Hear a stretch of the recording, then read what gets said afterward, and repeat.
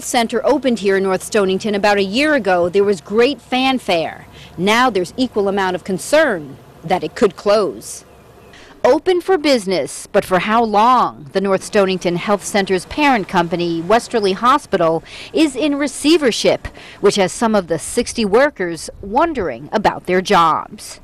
Definitely enjoy, love working here. Uh, been here since we opened. And since then, Angelo Frisaro, a physical therapy assistant, says he's seen the number of patients grow from just 30 a month to hundreds now.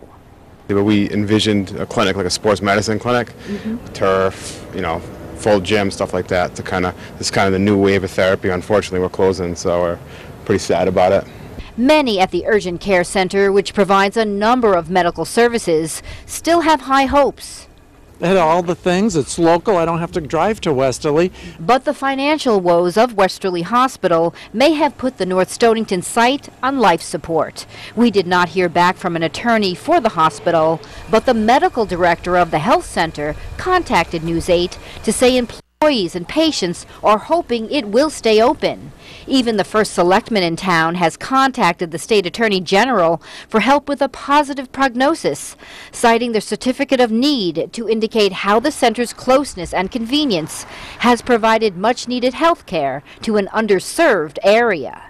We hope that somehow this will survive, okay? It has been a great asset to the community. It's very convenient. If this health center does close, not only could it be a loss for local patients, but also the building's owner. It was completely renovated to accommodate the hospital's needs. On the scene in North Stonington, Tina Detelj, News 8.